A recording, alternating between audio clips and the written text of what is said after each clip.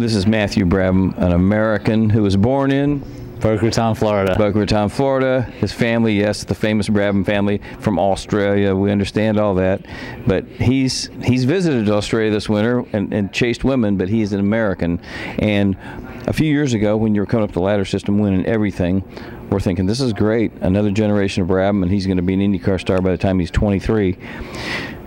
And it's the same old deal. No matter how good you are, it still takes money. And thankfully, Crusher, our pal, got you a sponsor, so you're going to be at least at the Indy 500 for KV. But was there a time that you just thought, okay, I've won at every series. I, what am I supposed to do next? Uh, absolutely. I mean, I think every driver goes through the same thing. Uh, you can doesn't. I'm, the one thing I'm learning now, and, and I wish I knew this before I kind of like really got into into racing and started doing the USF 2000 stuff. And, and it's really, it doesn't matter how much you win. You can win every single series the whole way up. You could win every race you've ever been in your whole life and be the most talented driver out there. But at the end of the day, it still doesn't get you a ride in, in a professional category, whether it's Formula One, IndyCar, you know, sports car, and it's getting worse and worse every day. So uh, yeah, it's definitely definitely tough times. You know, there's a lot of drivers the same as me. You know, Conor, he's had a tough time as recently recently, so you know everyone knows about it. It's just about trying to figure out a way to get around it. And you know, obviously, Crusher, Brett Murray, he's done a great job of um,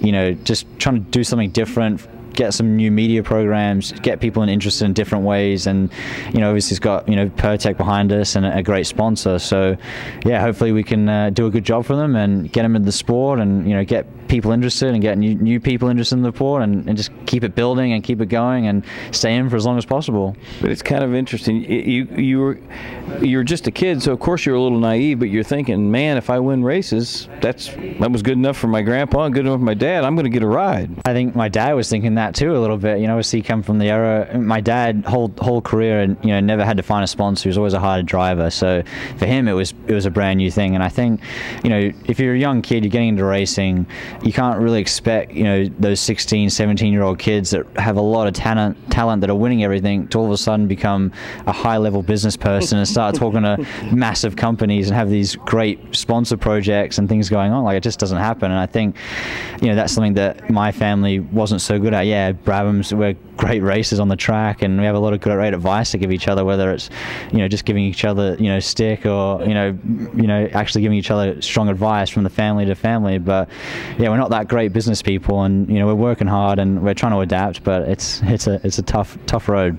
Do you think? And, and God, like last year when you tested a stock car, it, it was a dagger in our hearts. We're like, no, no, not another good American kid going to stock car racing. We got to keep an open wheel.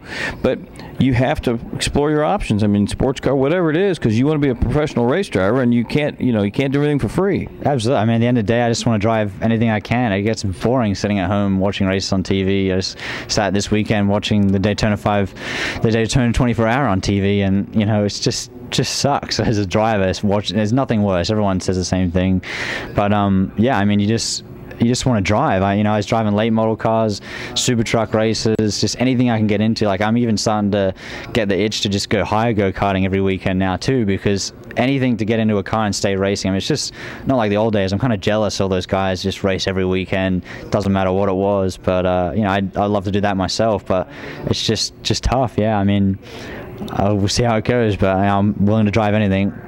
The good news is, though, in this program, it's going to be both races in May. The road course, which obviously you grew up on road courses, and and, and the Indy 500, the 100th Indy 500. Does is Brett's long-term plan? Let's get this the sponsor to maybe try, try and get you to full time. Absolutely, yeah. That's that's a long-term goal. You know, the main goal is to get in as long as possible, get in full time, do as many races as possible, and uh, I guess if it all, you know, in an ideal world, if it all went well in the month of May, Angie's List Grand Prix, the Indy 500, all went really well. Got some great results. Got a lot of people interested. Got some hype building around it. Then hopefully we can finish off the rest of the season. So that's what we're kind of looking at doing.